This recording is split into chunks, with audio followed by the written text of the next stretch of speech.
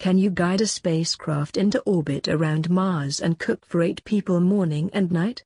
Yes, if you get up at 5 a.m., and your name is BP Dakshayani.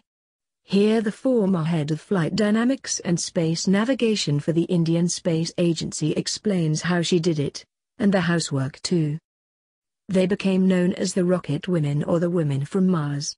Four years ago, the picture of a group of women in saris celebrating as an Indian spacecraft successfully entered Mars orbit shone a light on the role played by women in the country's space program, among them BP Dakshayani. Image copyright Getty Images. She led the team that kept an eye on the satellite, telling it exactly where to go, and ensuring that it did not deviate from its path. One of her colleagues, also female, described the task as like hitting a golf ball in India and expecting it to go into a hole in Los Angeles, a hole, moreover, that was constantly moving. It was a tough job made tougher by the responsibilities of an Indian wife.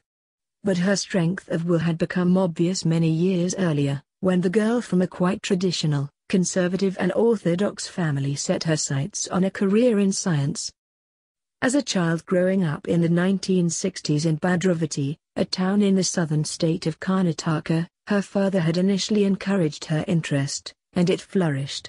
There was only one woman in the town who had studied engineering, and Dakshayani would run out to see her whenever she passed their house.